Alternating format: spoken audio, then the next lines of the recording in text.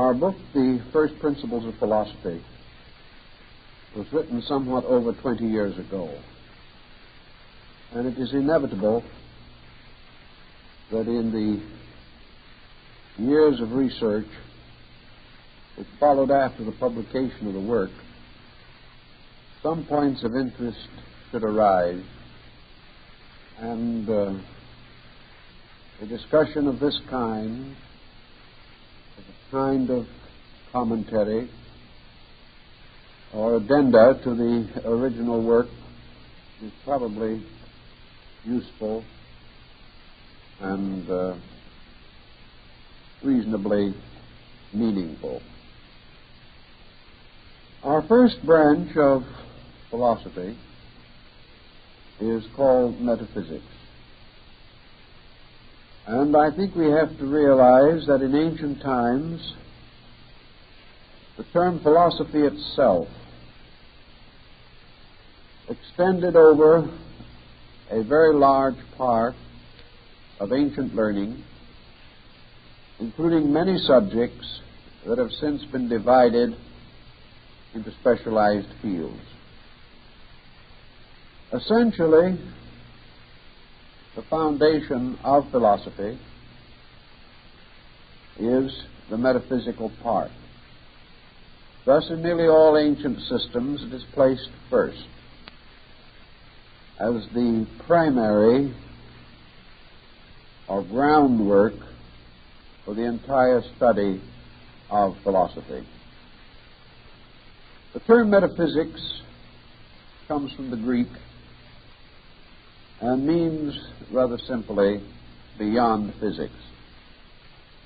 Beyond in this case means further from the appearances or the material aspects of things.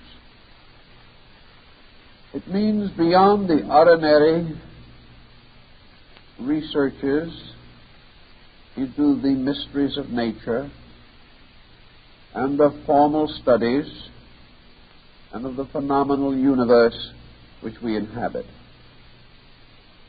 It may be said briefly that metaphysics deals with the hidden parts of physical procedure. It was known and recognized by the ancients that all visible things flowed from invisible sources. All nature was supported upon invisible foundations. Life itself, though infinitely manifest in its diversity, is concealed and unknowable in its origin. Metaphysics, therefore, covers the invisible origins of things which gradually move into a visible state. And it may also be said to be concerned with other things, not only invisible in origin, but remaining invisible, having no exact manifestation on the material plane of life. The first uh, philosopher of distinction to devote a complete work to the study of metaphysics was Aristotle. And as we study his remarkable volume, which is named The Metaphysics, we realize perhaps more fully than in any other of his writings the extraordinary genius of the man. We come to know clearly that Aristotle did not deny the existence of a transphysical universe. He did not for a moment question the secret fountains from which all manifestations flow. He did, however, take the basic attitude that there is no interruption what might be termed the grand pattern of physics. Metaphysics was therefore the better part of physics itself. It was not a separate study or a separate consideration, but merely the extension of physical knowledge toward the world of causes, where things are less obvious or evident, more difficult to measure and to estimate. Perhaps Lord Bacon summarized Aristotle's position rather well when he said that when physics properly understood, there will be no further need for metaphysics. In other words, these two terms cover the hemispheres of a single sphere. Metaphysics is nothing more nor less than the orderly extension of the universe back toward its own cause.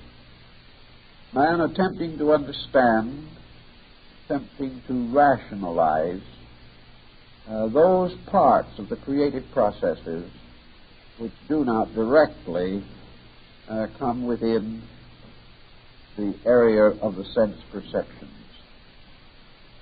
Aristotle would have taken the position that if man was able suddenly to open new eyes within himself, and was able therefore to observe the universe with more skillful or adequate faculties, he would find that there was no break between the visible and the invisible.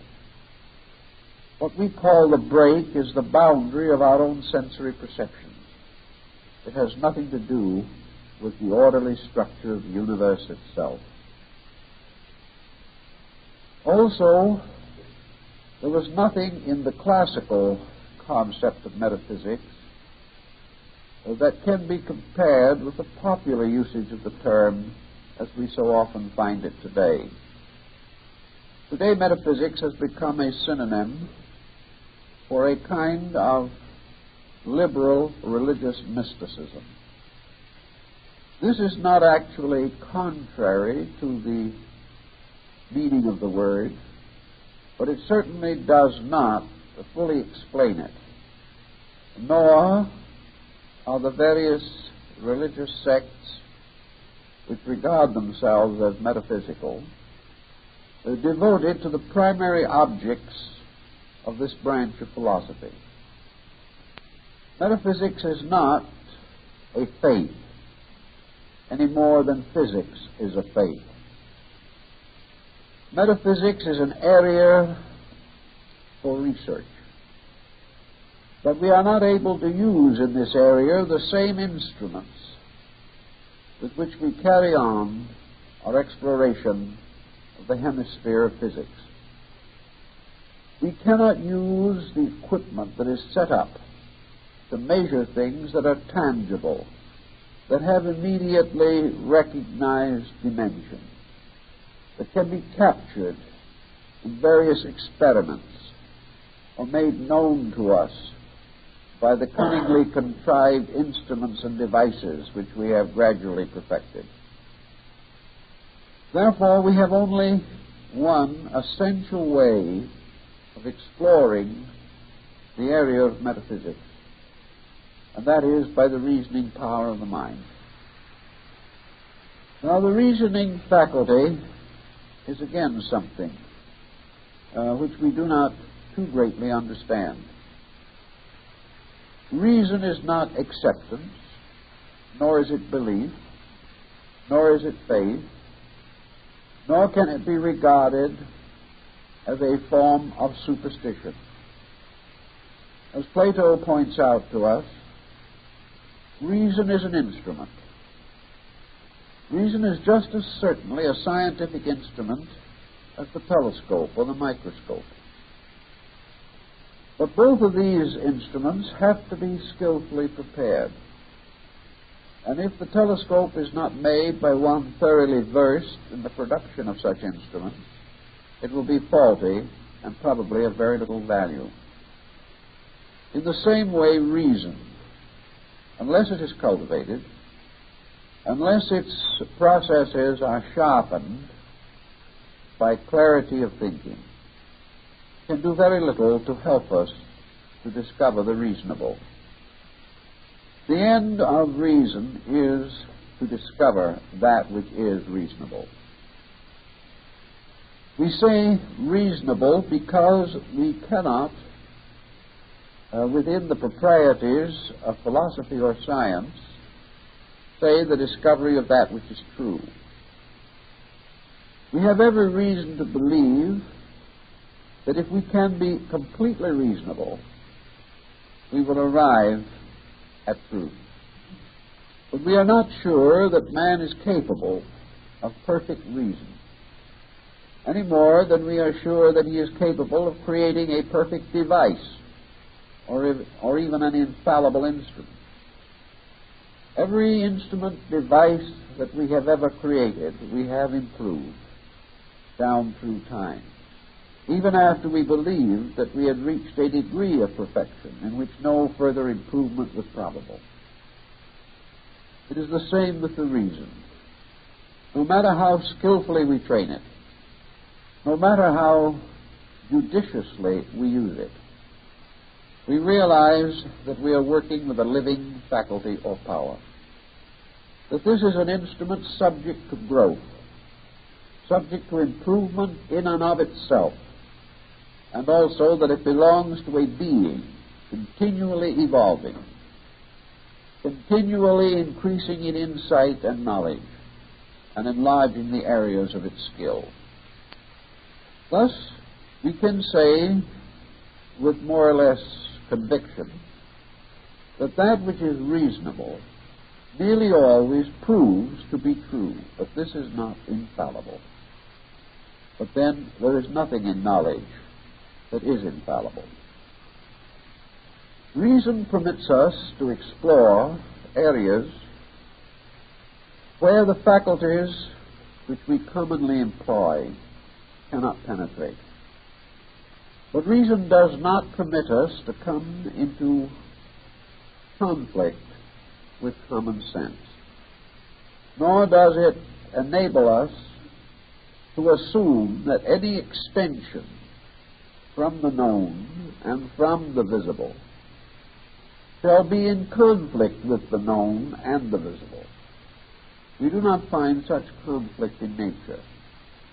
We find that all things are suspended from their proper causes, that these causes are consistent with the effects which they produce, and the effects in turn bear witness to their causes. We learn, however, by the use of reason, that it is possible to estimate the nature of many causes by a consideration of the effects suspended from them. Thus we come to the point of, of the Aristotelian philosophy, the posteriori concept, that from the study of effects we may come finally uh, to participation in the nature of causes. This uh, use of the reason uh, to explore the area of metaphysics uh, usually requires that we have a profound judgment, a skillful and adequate training, uh, that we are fully equipped with what is known on the subjects which we investigate, and that therefore we do not regard metaphysical insight as, in any sense of the word, uh, something that takes the place of knowledge, something that is better uh, than the reasonable faculties. Rather, that it is the best way that we have of using the total power to know which we possess. Reason, therefore, becomes our all sufficient guide. And by means of it, uh, we come to certain conclusions. These conclusions uh, have stood, stood the test of ages. And while in various periods of history, that which is reasonable has been assailed and declared to be beyond demonstration, the world in the end always returns to the reasonable, referring it even to the factual. The reason for this is that the factual, as we understand it today, has a quality of sterility about it. Facts are for the most part static. They are not dynamic. One of the reasons for this is that the facts that we are able to comprehend are terminal facts. There is much that precedes them, but very little that follows after them. Therefore, to possess facts does, uh, does not mean that we have keys which open new doors. We have only the, the power or the privilege or the ability to contemplate these things which we have observed. And from this contemplation come finally to the same conclusions that we originally held. Thus, facts are not exceptionally stimulating. And very few facts have great solutional value. These facts become the obvious thing. And around the structure of the obvious, we build an almost total indifference. Facts, therefore, have a tendency to blunt our interests. Uh, they cause us to substitute the obvious for the reasonable. They disincline us to effort, investigation, and the arduous pursuit of knowledge. Possessing what we call facts, we feel that we have the better part of knowing, and therefore falsely assume that our knowledge is complete. The difference between facts, therefore, and things reasonable must always be that we are seeking not merely for that which is evident, but for those causes which explain the evidence. Reason, therefore, is forever seeking the reason for things the reason for conditions, the reason for circumstances. And the training the reason becomes dynamic because it causes us to be attentive to the conditions or circumstances which are prior to the obvious. We may therefore say that history will tell us that in 1492, uh, Columbus, shall we say, contacted the Western Hemisphere. This fact, however, is of small, vital knowledge. It can be memorized and forgotten. But behind this fact itself is the tremendously dramatic story of the circumstances which led to the voyages of Columbus.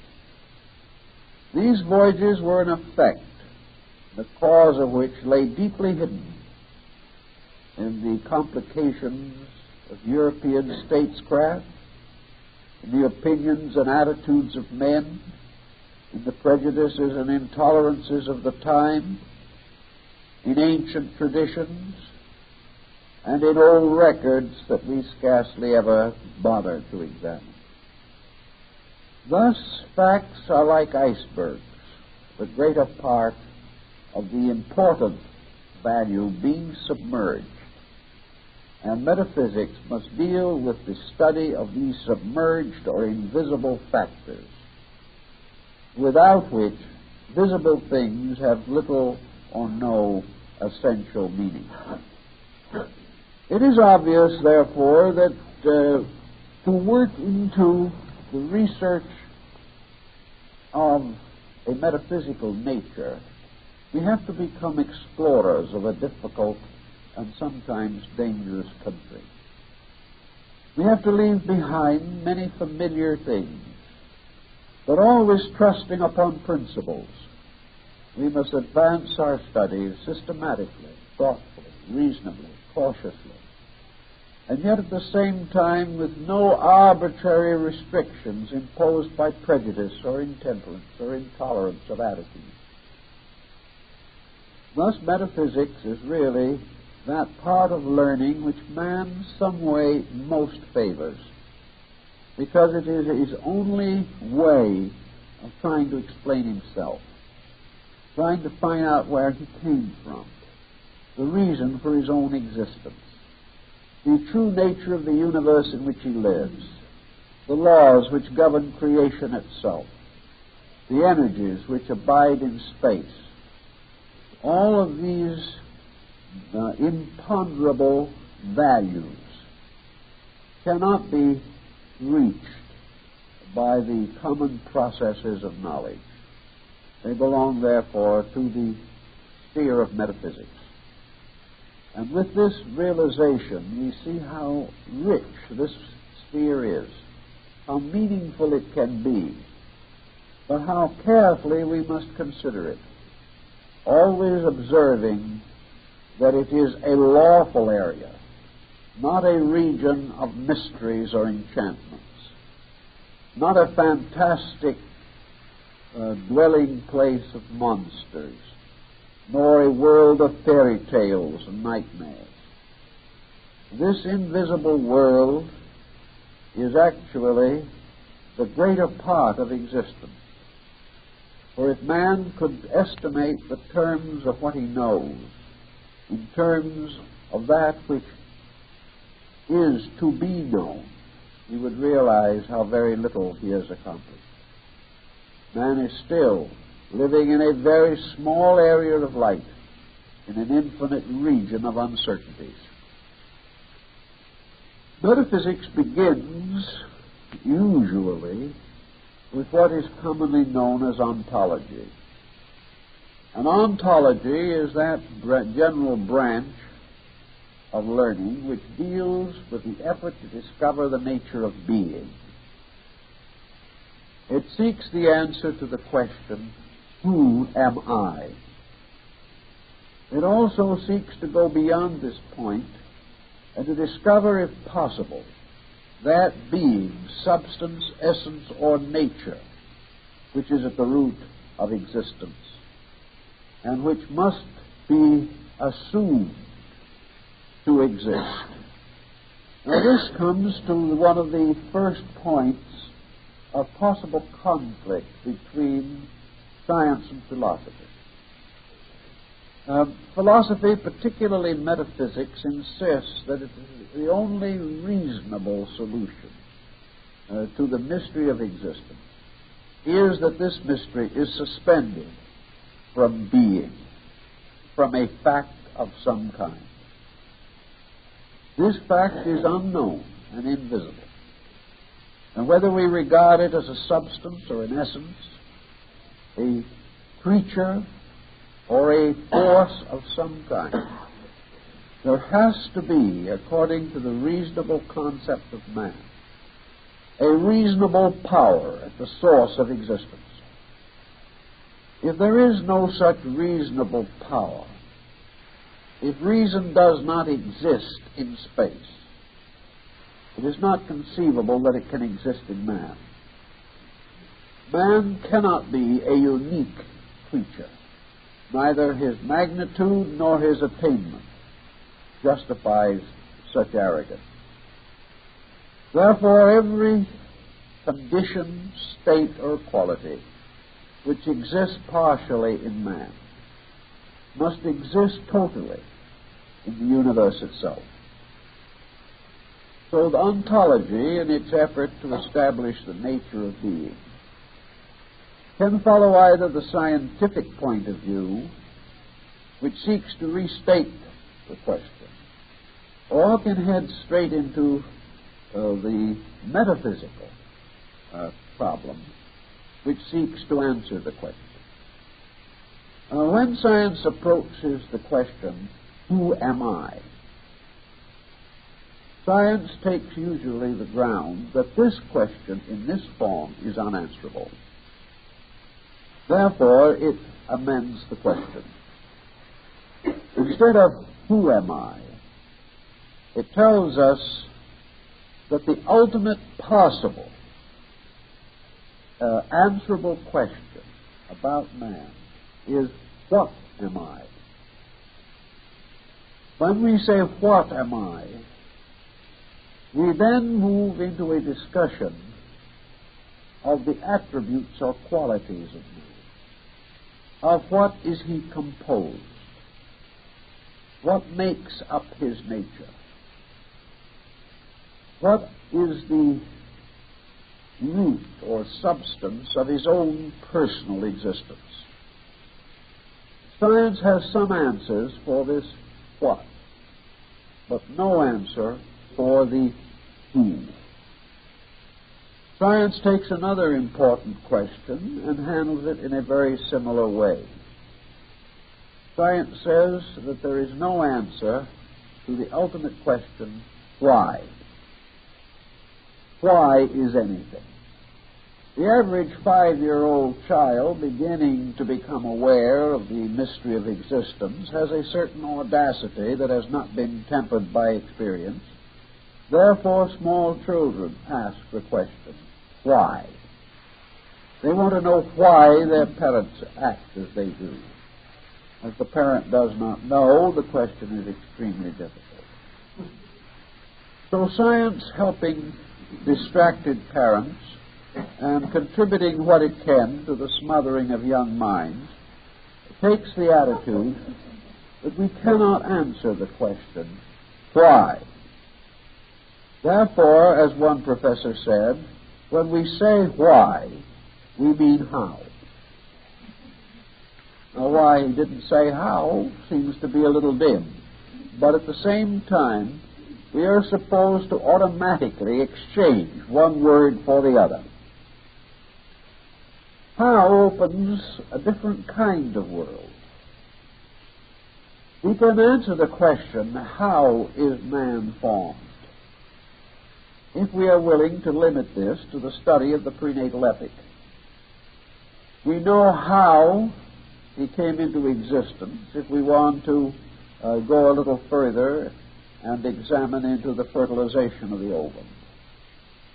But when we ask forthrightly, why, this is much more difficult. How we got here, up to a point, is understandable. Why we are here in the first place is unknowable. Now, science does not like to deal with unknowables. They are always embarrassing wherever they occur. Therefore, in order to retain a certain complacency, it has narrowed the area. It has built a wall between physics and metaphysics and forbade anyone to look over the wall. If you look over the wall, you are a sickly mystic.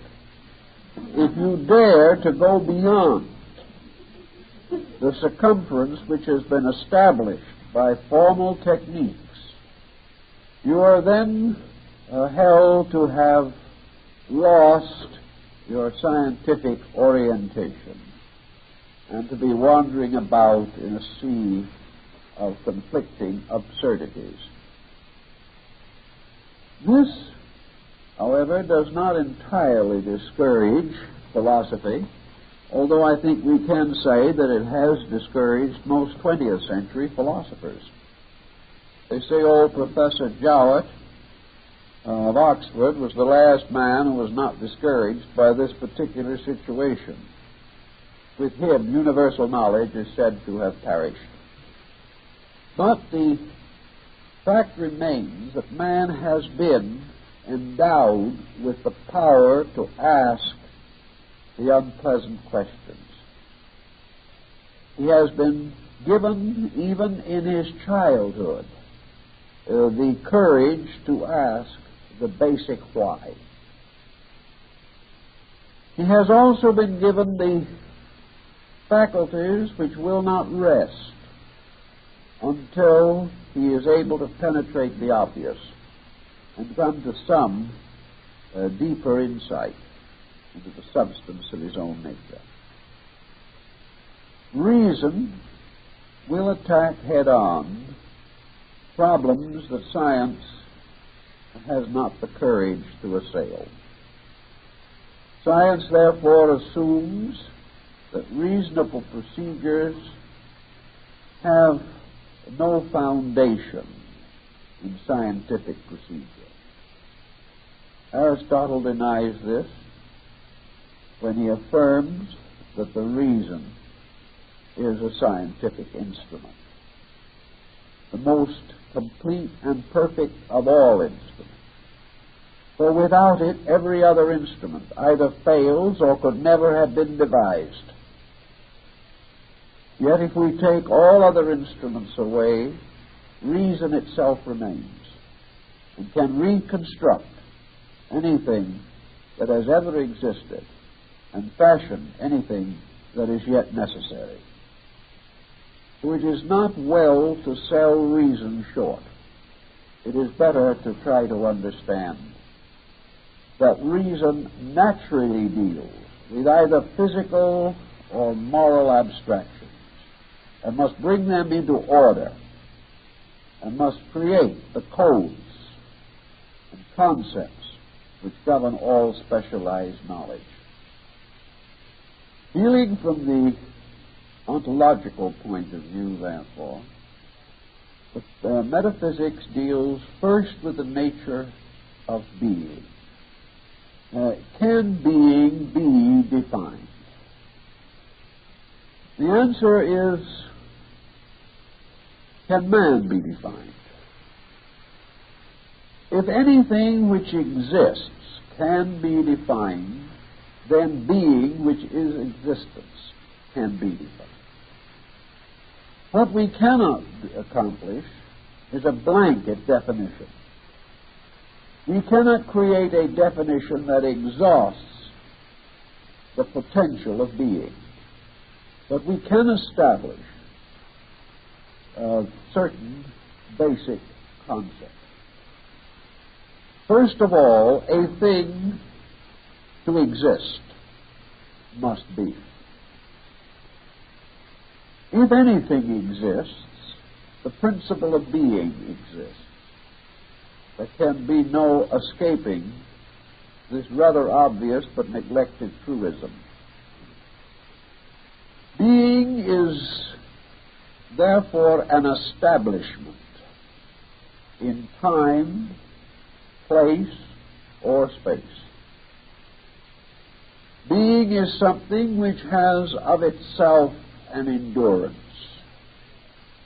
Reason has never been able to accomplish a, a thoughtful apperception of a condition or time in which being did not exist. Nor can we rationally uh, comprehend any time in which being ceases to exist. Being, by its very nature, can have no beginning, nor can it have an end. If it had a beginning, we are utterly defeated. For the reason that if there is a beginning to that which is primordial, eternal, and unchanging, if this had a beginning, it could never have existed. Because there is nothing from which being itself could descend. If being, therefore, is not eternal, it could not be, for there is nothing from which it could be generated. If it was generated from itself, we are in the same dilemma. For then being could only be generated from being. And we are right where we started from, that being itself is eternal. We cannot assume or conceive that being can end. For that which ends must have had a beginning. These are the re- requisites. Uh, we used to refer in theological studies to what has been called the theological one ended stick, but we do not hold it in great regard. This uh, one ended stick is something that starts as a beginning and then goes on forever and ever. This is the one ended stick, and there is no such a thing.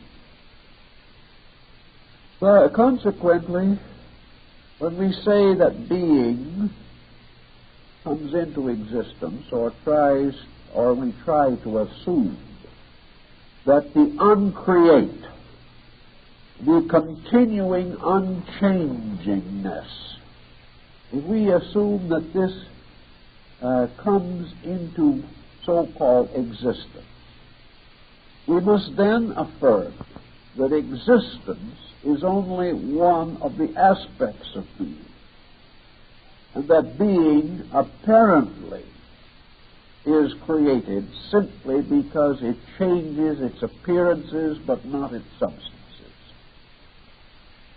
If something emanating from being, which we have not previously known or seen, comes into the area of our physical comprehension, we say this thing was created, or that it has come in some way out of the everywhere into the here and is with us.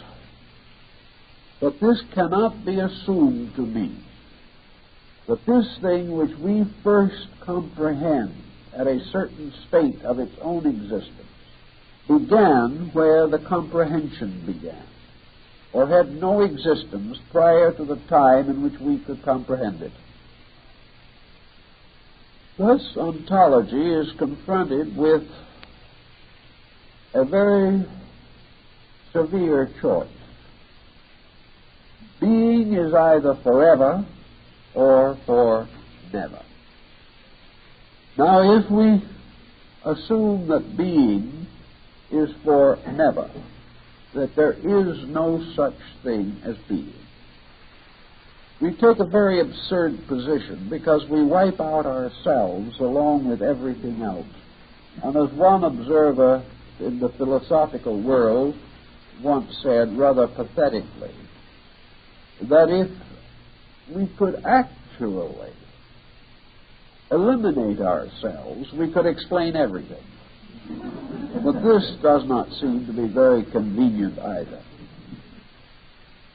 Consequently, we finally come to the conclusion that man is a cre- as a creature has the power to conceive within himself the existence of a nature abiding forever in eternity, permeating, penetrating all things, having in itself an in inevitable continuance, and that this thing which exists must properly be termed being, essence, or substance. We say that it is essence because it is the most subtle part of all things. We say that it is substance because it is the only endurance, as Plato points out. That which has the greatest endurance has the greatest substance and reality, although we cannot perceive it. So ontology, certainly in the classical period, came to the rather quiet and actually irrefutable position uh, that the universe, cosmos, the vast galaxies of stars, the vast expanse of the Milky Way, and others extending to infinity beyond our comprehension, choir after choir of angelic forces. All of these exist within and of being. They are. Therefore, being. Being is. Therefore, they are. Having established this, we establish the ultimate reservoir of condition. for being becomes not only the total reality, but it becomes the total substance and source of all that exists. There is no longer any problem of creation being fashioned out of nothing. The old Rosicrucian adage, nothing from nothing comes, uh, appeals at this moment. Everything arises in something. Nothing arises in nothing.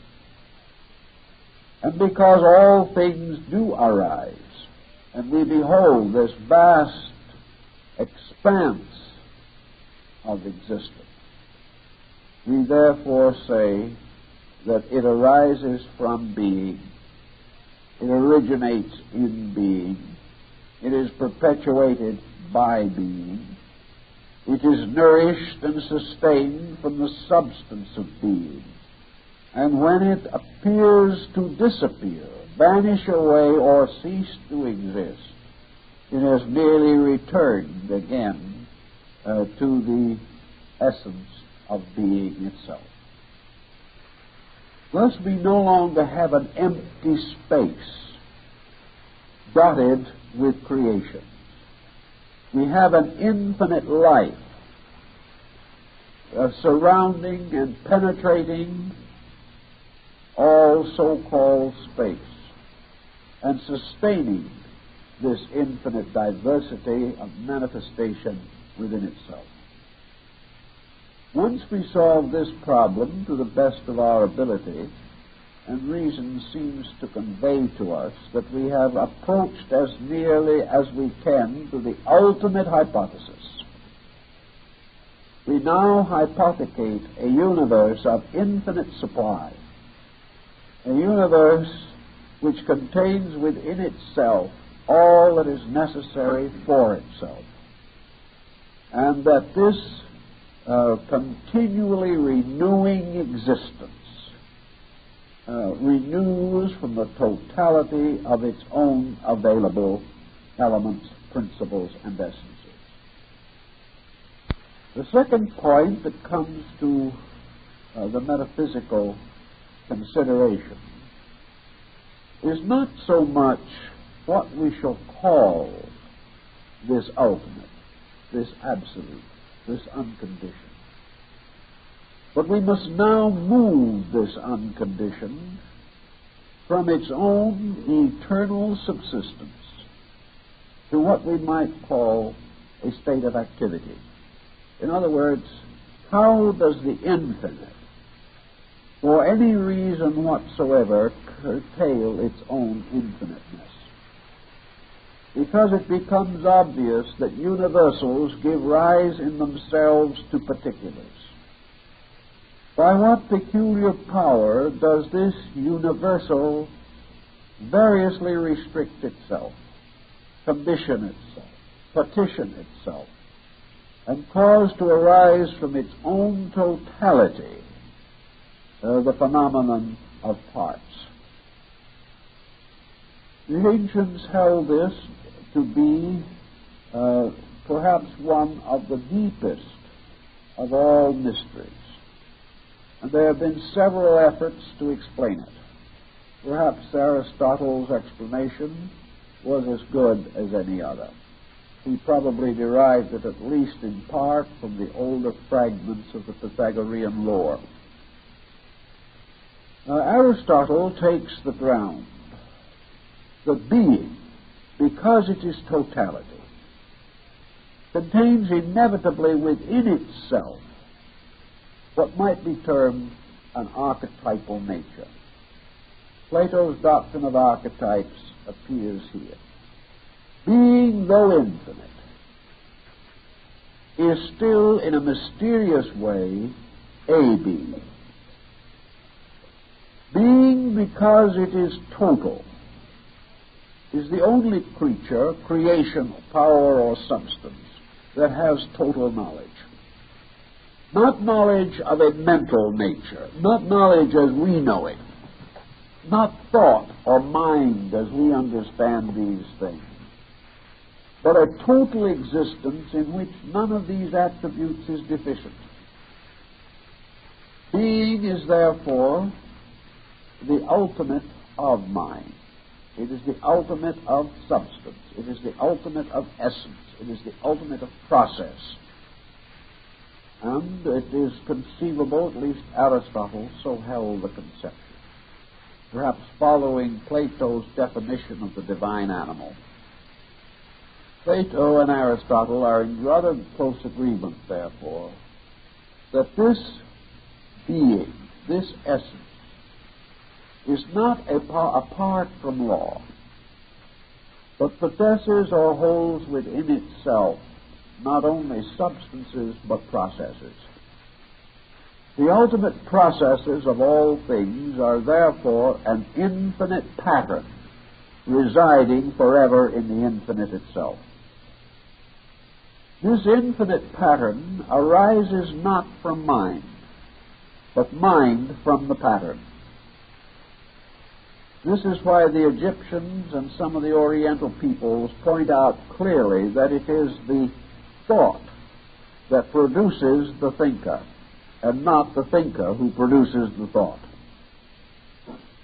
What we call the thinker is a process in the unfoldment of the process of the thought itself. So the concept, uh, sub- uh, simply stated, is this that all of the conditions that arise in being are inevitable because being itself is inevitable and contains all inevitabilities. Our comparatively patient and not particularly well recognized Tibetan brothers, not too numerous, far from our ken of knowledge and science and all these things, have stated it very simply, but perhaps as wisely as any other group that ever existed. Namely, that there is a periodicity in the archetype of existence. Through existence moves vast motions that are essentially part of its own nature.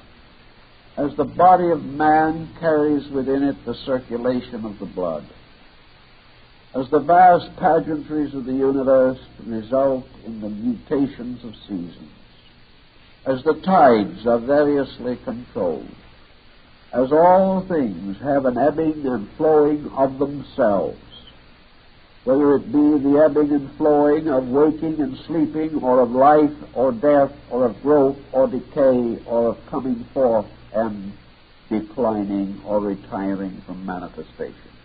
These principles, reason tells us, have their final abidance in being itself.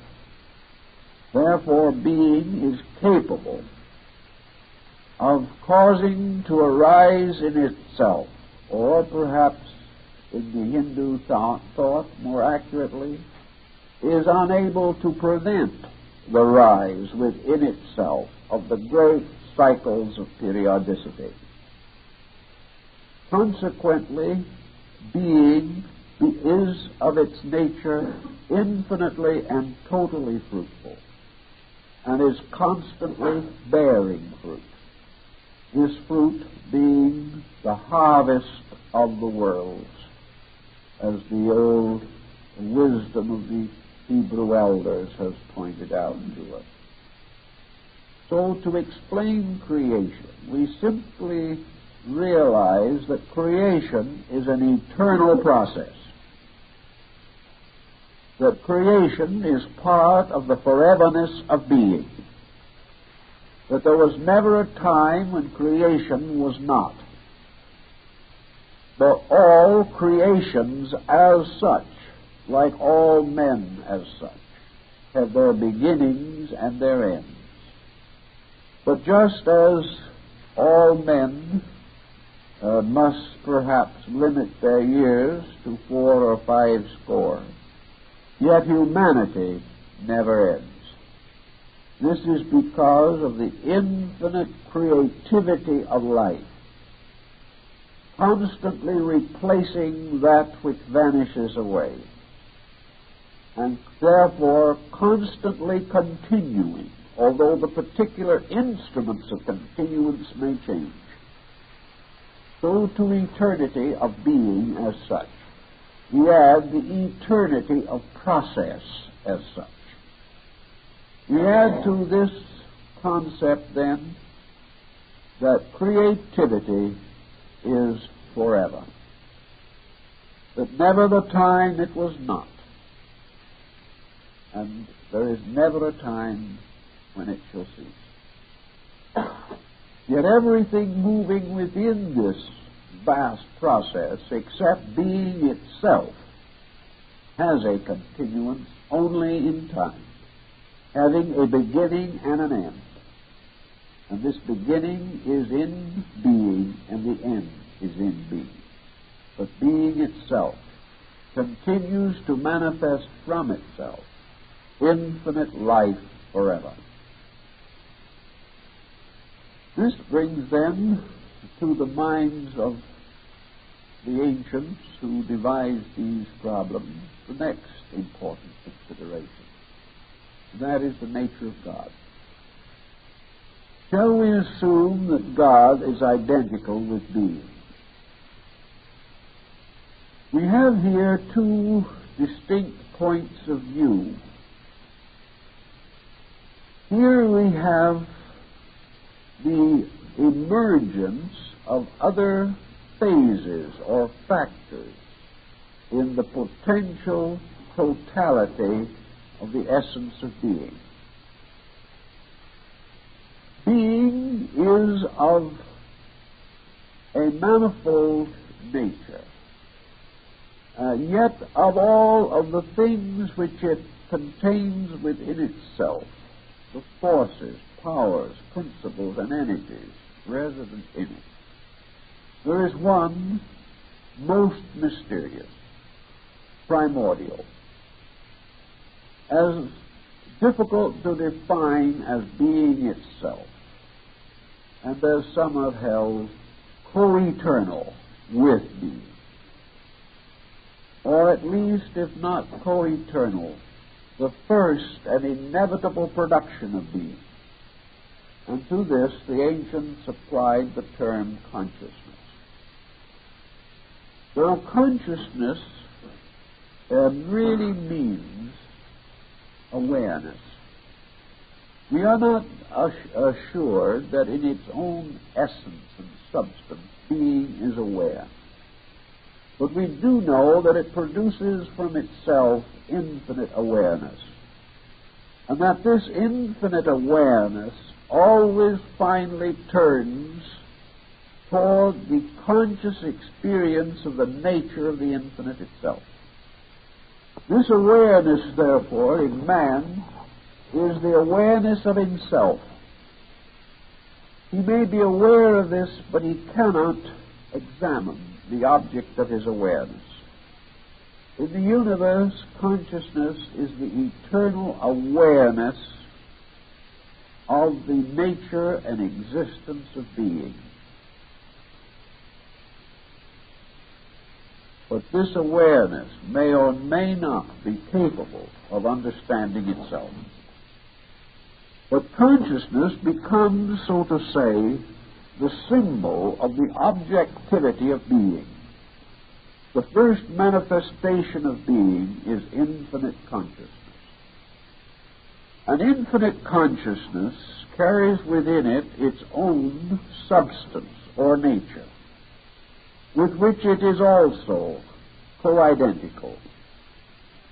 For an infinite consciousness is therefore one with infinite life life consciousness being uh, terms for the aspects of one thing. Consciousness in itself is life. Consciousness in its manifestation is awareness, or the power of life to bestow upon creatures the sense of self existence.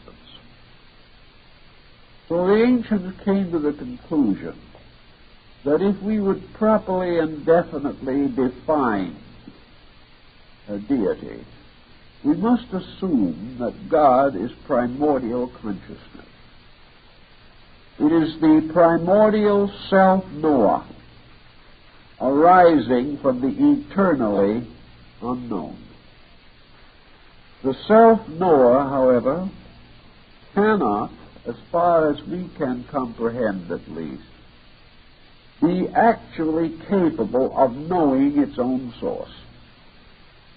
God is therefore like the Scandinavian Allfather, the great uh, culture hero uh, Odin and where we are told in the ancient sagas that Odin, the god of the world, knew everything except his own nature and his own fate. This he could not know. These things were beyond him. But deity represents the island of consciousness arising in the great ocean of being. This island of consciousness comes forth according to the infinite law that being is forever flowing into manifestation through a focal area set up which is called consciousness. And the primary end of consciousness is that it shall expound, define, restrict, limit, and, and reveal that which is the law of being itself. Therefore, consciousness becomes the basis of the power to interpret the processes arising from being. This is the way the ancients uh, sought to explain this. And this covers that phase of our subject which is essentially referred to as ontology.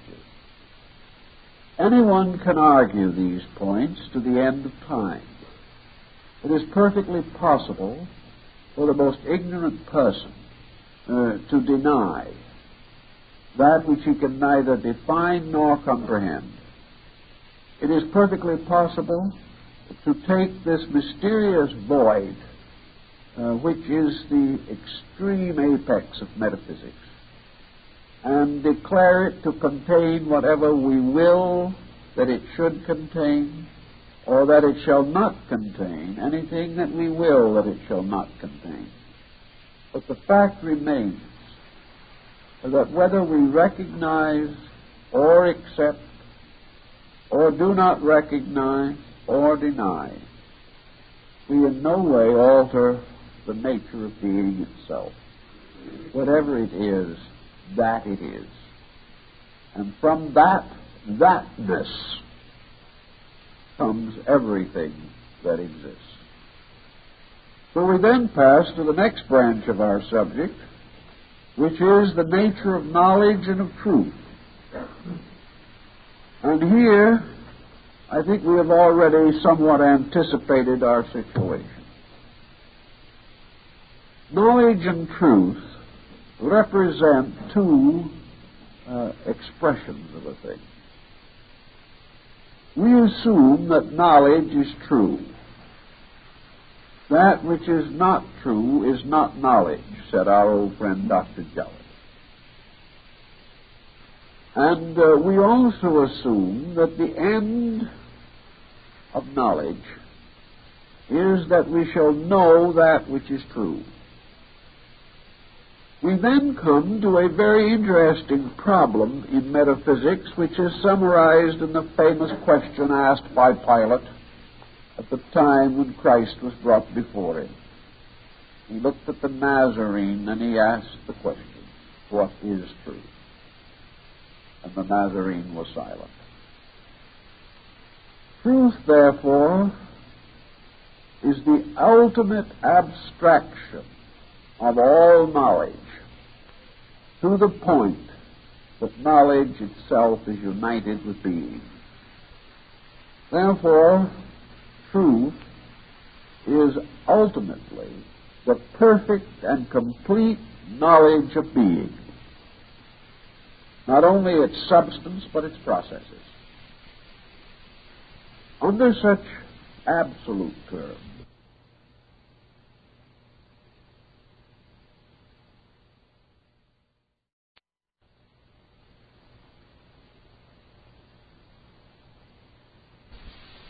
The truth is the thing in its absolute nature. Truth is that which is, regardless of seeming or appearing.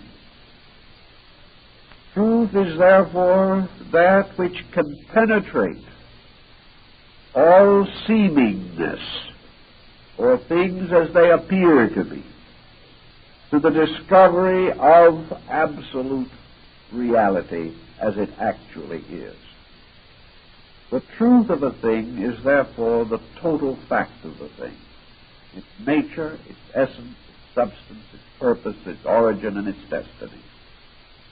Under such condition, truth is not overly abundant.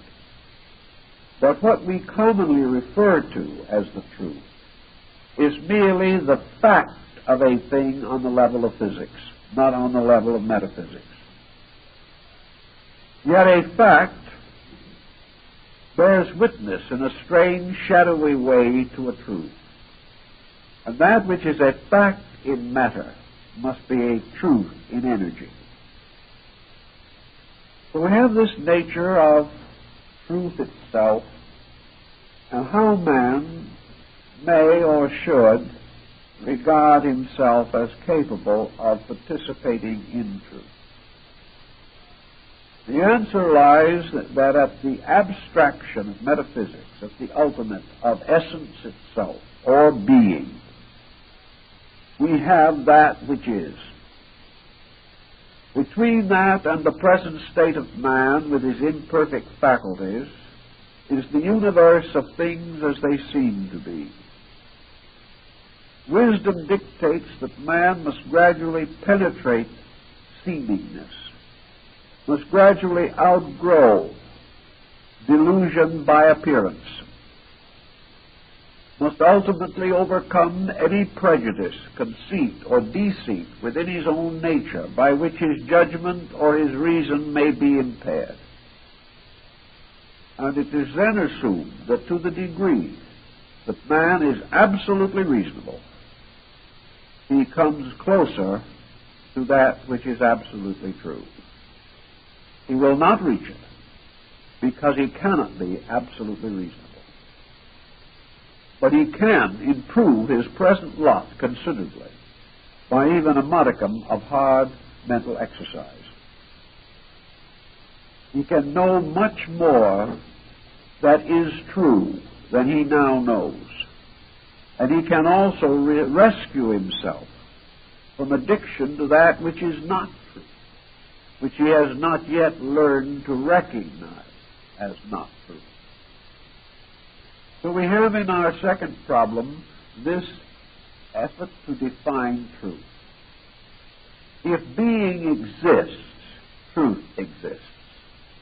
Because truth and being must be regarded finally as qualities exceedingly similar, if not identical. if there is a being, this being can be known. And that knowing is truth. But at any given time or under, at any given condition, the creatures evolving within the substance of being and possessing incomplete and imperfect faculties may not be able to experience the actual fact of truth itself. So we are truth seekers, or we are wisdom lovers, which is the friendliness toward wisdom, which is the meaning of the term philosophy or philosophia. Friendship for truth. But we cannot claim that we possess it. But if being exists, we cannot deny that truth exists. Therefore, we must gradually, as we can, overcome the interval or reduce the interval between our own comprehension and the essential reality that can conceivably be comprehended. This takes us to that phase of the problem which we say the nature of knowledge. The nature of knowledge is the nature of the attained. And what an individual knows may be considered as the substance of his attainment. Knowledge is relative. Truth is finally infinite or absolute. Consequently, it is not possible for us really to refer to relative truth, although we do it. What we really mean probably is that we are dealing with relative degrees of knowledge, for the truth itself cannot change. That part of truth which we comprehend we call knowledge. Therefore, a knowing person is a person who knows something about truth, but does not know truth per se. A person of knowledge is a person who has become familiar or expert in some area which is itself an area of truth. Actually, philosophy does not recognize any essential difference between sacred and profane knowledge. The individual who learns the Latin language is learning something which in one way or another is an attainment in knowledge toward truth. Something is conferred here, more than the mere ability to speak a language. All mastery of things unknown or unmastered may be considered advancement toward universal knowledge. For knowledge is that part which we do know and upon knowledge we have built the civilization and universe as we comprehend it today. It is knowledge that has given us our arts and sciences, our industries, our crafts, and our trades. It is knowledge which has given us a certain expertness on the, in the areas where physics itself operates. It is knowledge also which has caused us to extend the sovereignty of our own purposes as far as possible out into the universal existence. It is knowledge that may sometime land a spaceship on the moon or on the distant planet. But all this knowledge is on a level, and it is within the area of physics. In other words, it is in the area of material things which to some degree at least are comprehended by the concrete faculties of the mind. We are extending our search out further and further along these rays that seem to emanate from absolute truth itself. Each of these is a pathway. We begin at the outer extremity or circumference of this radiance and move gradually toward its center. Uh, that which uh, we have yet not reached, we look forward to and approach in terms of the unknown.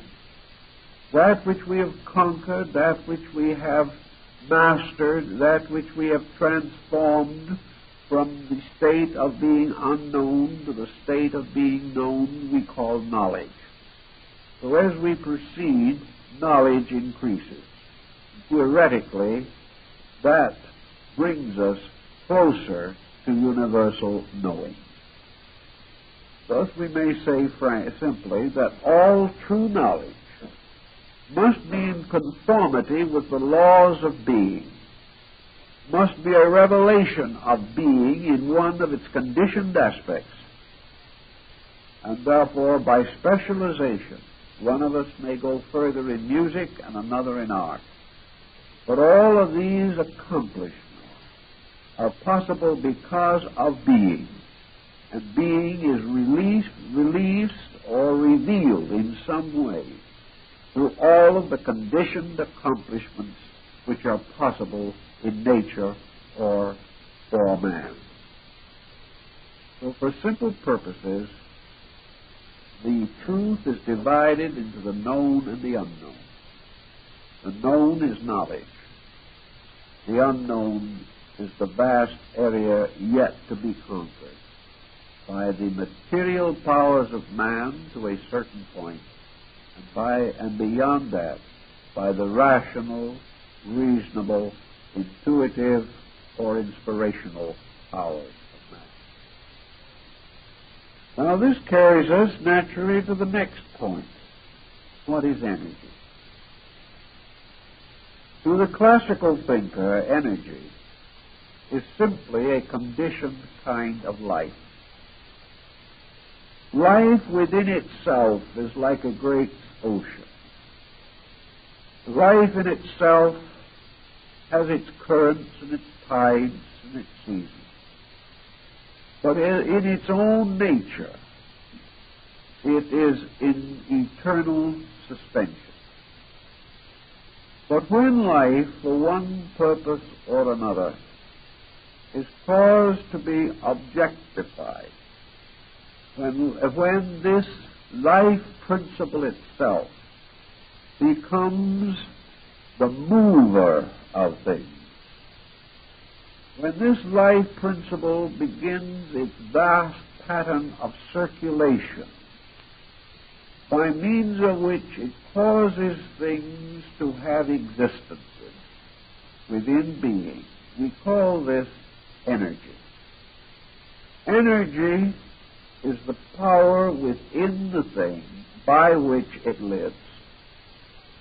And the particular problem of energy is therefore the aliveness of a thing and the expansion of that thing from within itself by processes of growth, by which we also imply processes of evolution and ultimately processes of generation or the transmission of life uh, from one generation to the next.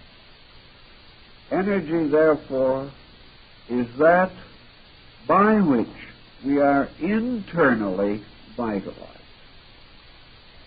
Now, if in the course of this, this energizing, the individual is caused or moved to an action, this action becomes an aggressive expression of energy. And where energy is turned from the self to that which is not the self, as in the conquest of environment, or as a means of preserving or perpetuating its physical existence in a universe of conflicting energies. When this uh, occurs, when energy moves the thing rather than moving within the thing, we term energy force. Force, therefore, is a conditioned energy. Force is energy which is being revealed or released by an aggressive motion or an aggressive procedure. Energy in, is moved into a forceful relationship with things. It is released by an action of the, of the will.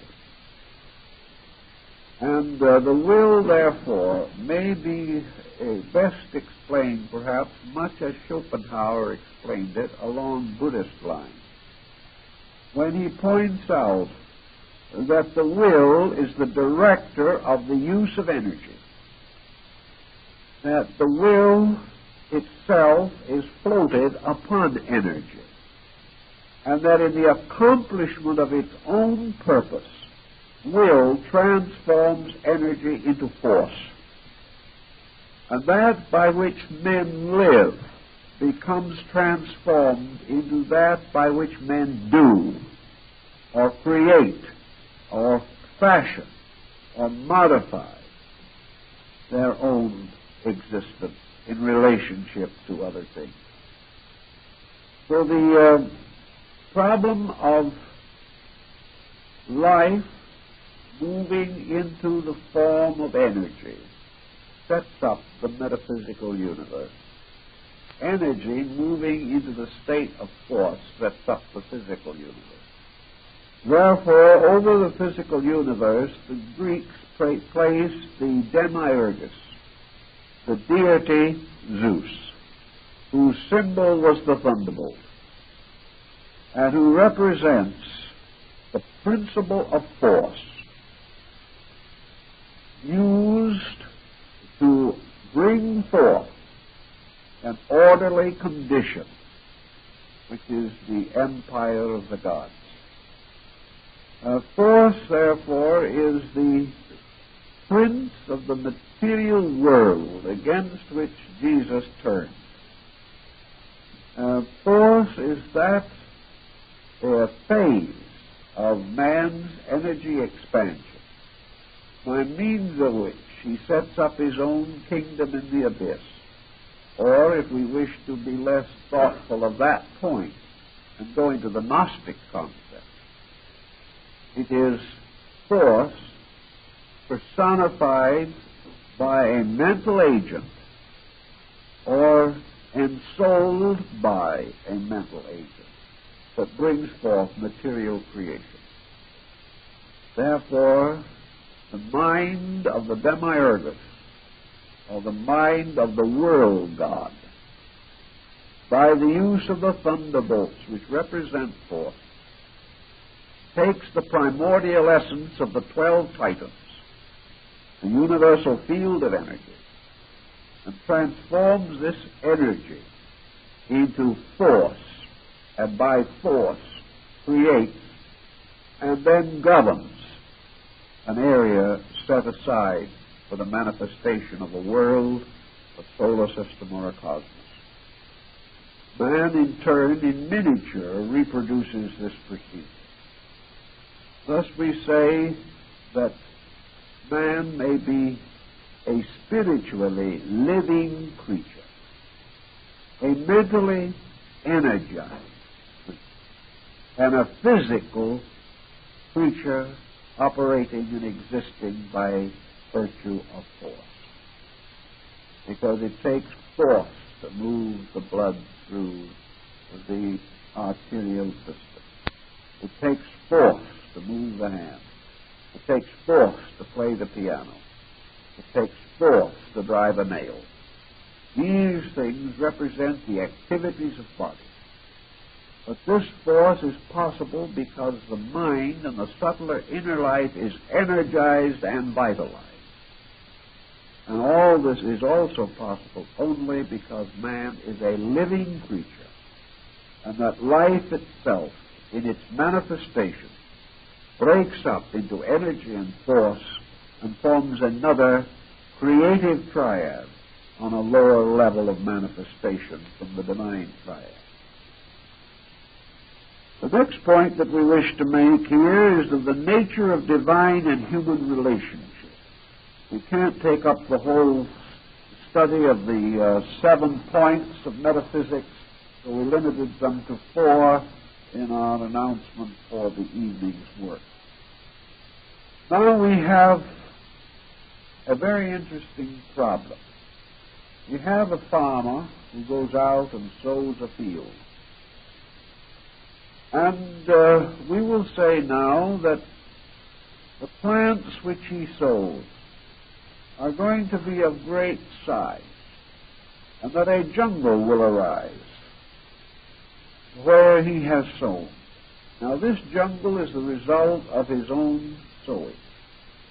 But when it grows to its full maturity, man himself can no longer control it.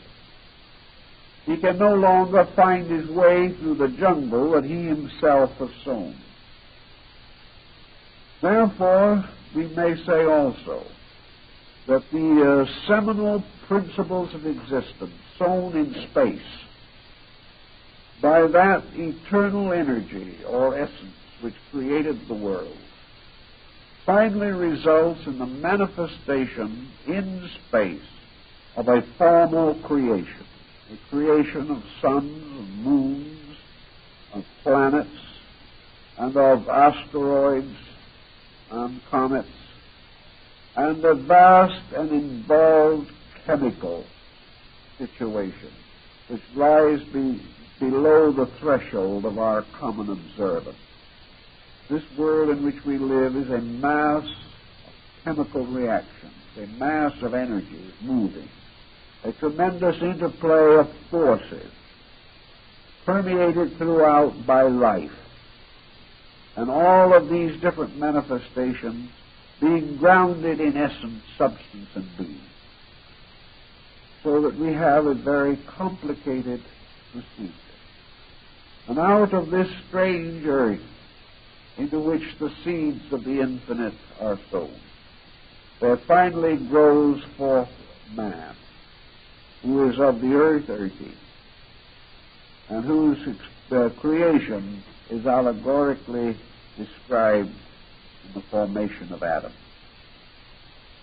Man, therefore, is like all products born of seed, he is alive.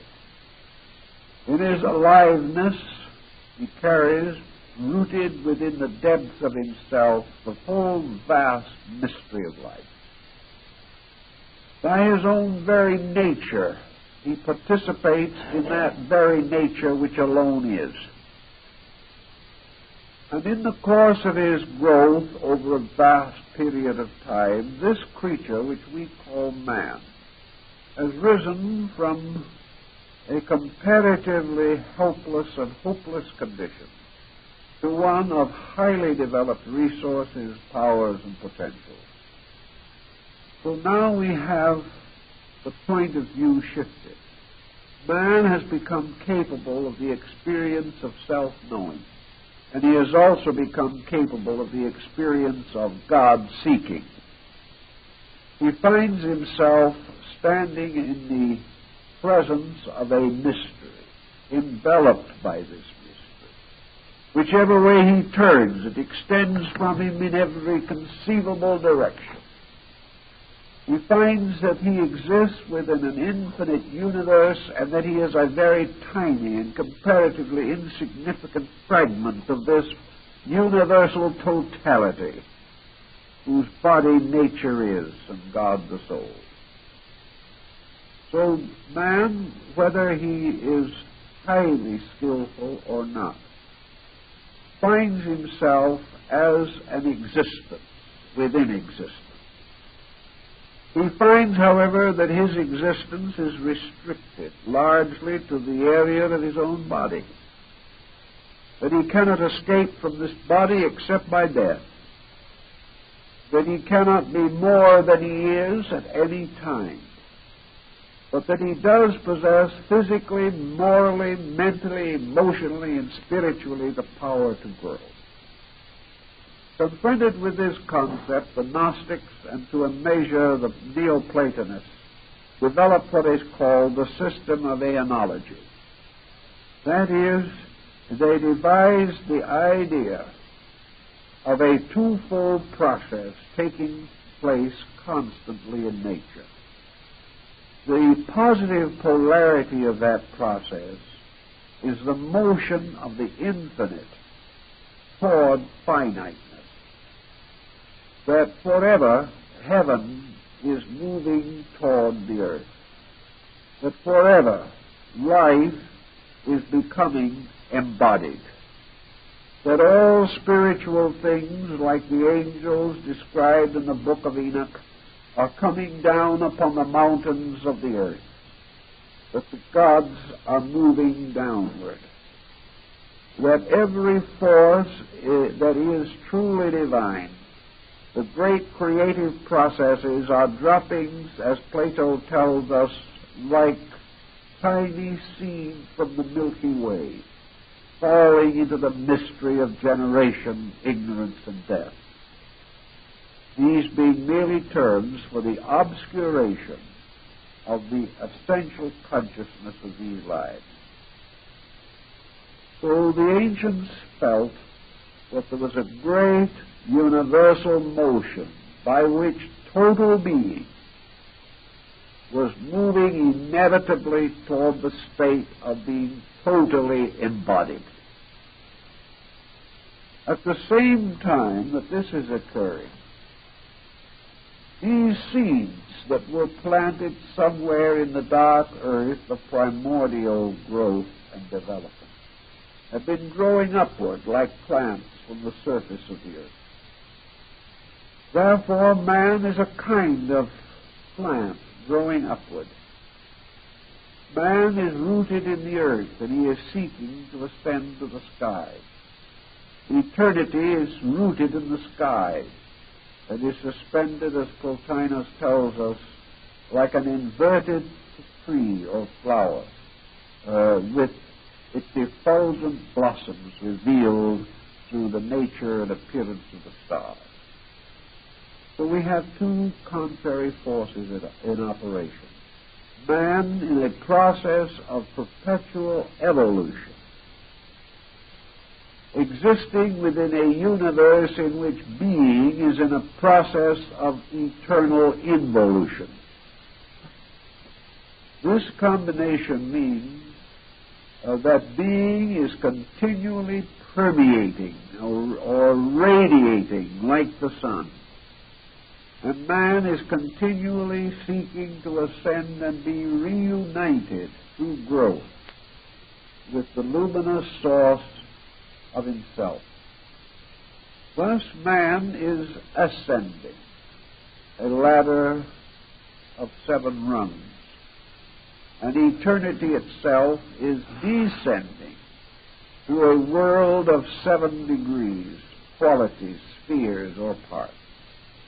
In the Gnosis, these were represented by emanationism, in which eternity is forever emanating the qualified or conditioned aspects of itself. And man is forever emanating the over parts of his own nature, which are his intuitional and inspirational uh, elements or characteristics. Somewhere these two meet, and it is the meeting of these two values by means of which heaven and earth are united.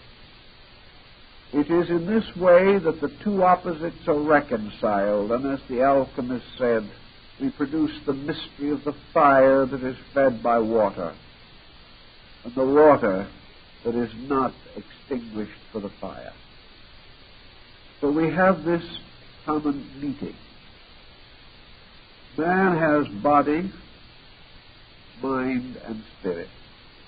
The infinite must likewise have spirit, mind, and body. The body of man belongs to the body of the infinite. This is the mind of man is part of the mind of the infinite. The spirit of man is derived from the eternal essence of infinite spirit. Man has been so constituted that he can reach a degree of insight in which he can bridge this mysterious interval between the creating power and the created creature.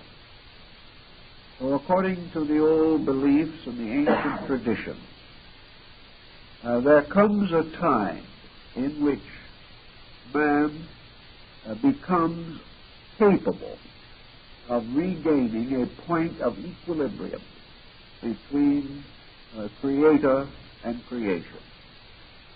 And this interval between creator and creation is the abode of creature. And man is a creature. The word man is from the ancient Hindu Manas, the thinker.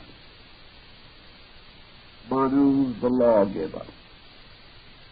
So in the emanation theory, man ascending gradually approaches a condition of comprehension. Uh, eternity descending comes gradually near enough to man so that man can comprehend this universal proceeding. And it is because these two powers are moving toward each other by eternal law that man himself more or less comes into existence. Because man represents the creature which contains both the creator and the creation. As Paracelsus said, man is bound to the elements by his body, to the planets by his soul, to the stars by his spirit. So the spirit in man links him to the eternal. The body of man binds him to the temporal. And between these two, the soul of man, his mental and emotional coordination, acts as the bridge. So that the individual is capable of making the transition from the state of not knowing to the state of knowing because of all creatures which we are capable of knowing or comprehending ourselves, Man is the only one in which there is go- a Homer's golden chain which locks the rock of earth and binds it to the pinnacle of Olympus. Man, therefore, has the chain of bodies, the chain of vehicles, without a break. And man is the lowest creation in which this is true. Therefore, man alone has a perfect ladder on which he can ascend from the material to the mystical, from the mystical to the rational, from the rational to the divine. This constitutes his road or his path. And it was held in ancient metaphysics that it's because of this chain of vehicles alone that man is capable of understanding metaphysics. If he did not possess the internal instruments of knowing, he could not even wonder about the reason for himself.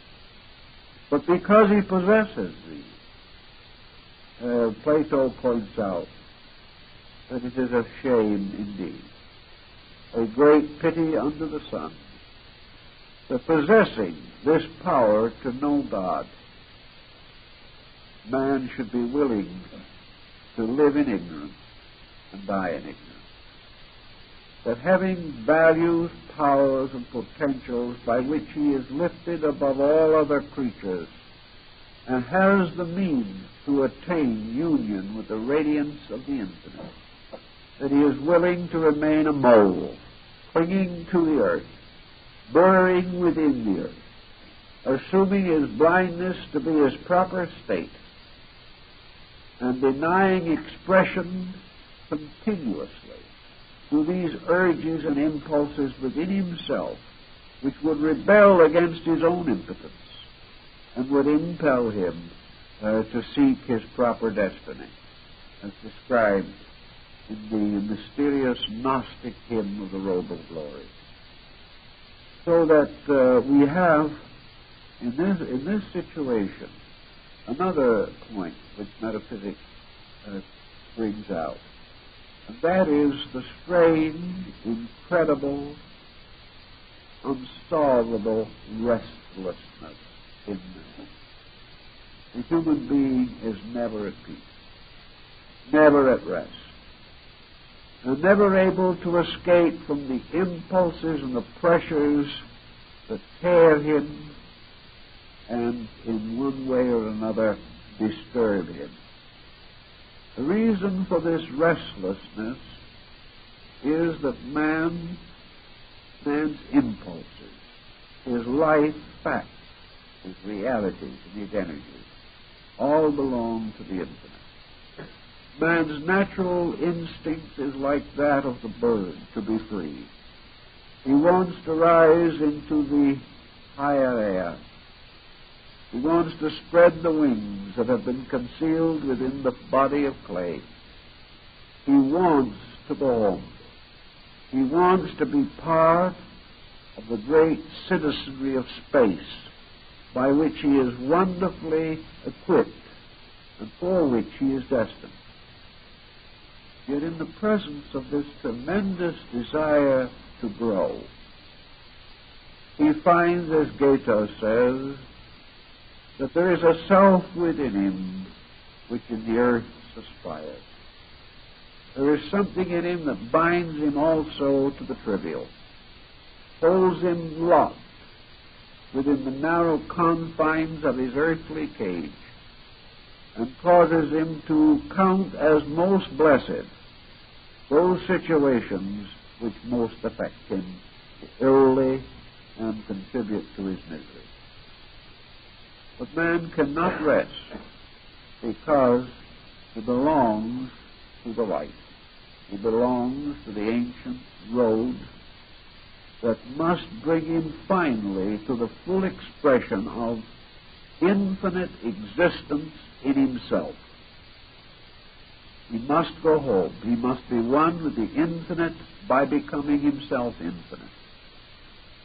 Thus he cannot endure with complete complacency that which frustrates the complete purpose for his own existence.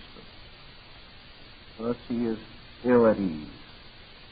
He cannot accept uh, the condition in which he finds himself. He is too big for the world he has accepted and too weak to learn how to escape it. He cannot be satisfied with what he is, but he hasn't the courage to be more. Thus, the disciplines of philosophy, the great schools set up in antiquity for the cultivation of human conduct, were intended to instruct man in his eternal destiny, strengthen him in his resolution to claim his proper birthright, and to provide him with the various instruments through the use of which he can achieve that end for which he was destined. These instruments, this process, this insight, and the science involved in the perfection of this part of man, these together constitute the subject of metaphysics. Thank you very much.